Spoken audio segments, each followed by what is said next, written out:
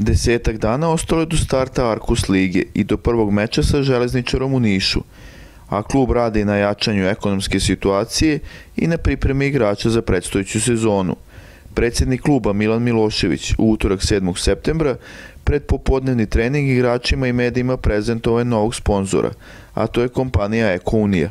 Eko Unija SN uh, ove sezone će sponzorisati rukometni klub Proleter. Uh, mi kao društveno odgovorna firma imamo već dosta vremena praksu da sponzorišemo dosta sportskih klubova u raznim lokalnim sredinama i jako nam je drago da i rukometni klub Proleter bude, kažemo, član porodice koju Eko Unija sponzoriše.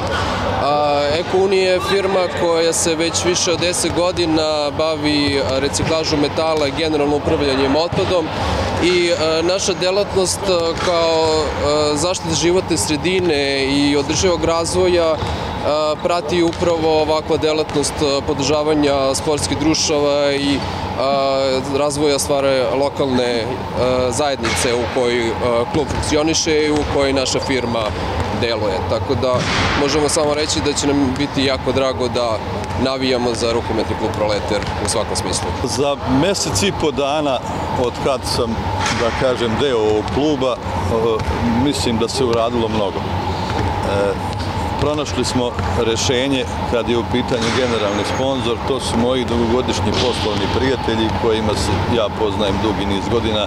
Na moj predlog su ušli u klub, podržali ovu moju priču i priču celog grada i mislim da bar u narednom periodu dok smo mi na čelo ovog kluba zajednički, a ima nas desetak, mislimo da proleter može ići uzlaznom linijom i da možemo proleter vratiti na neke stare grane, ako ne baš da igramo finale Lige šampiona, ali sigurno da budemo e, značajan učesnik naše Arkus Lige koji će se pitati ko će na kom mestu završiti ovaj takmičenje.